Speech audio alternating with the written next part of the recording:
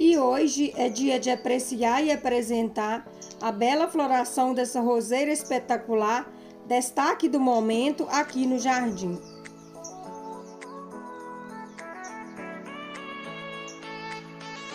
E nessa imagem linda e maravilhosa está depositado um precioso tempo, cuidados, gostar e zelo e dedicação pelas plantas.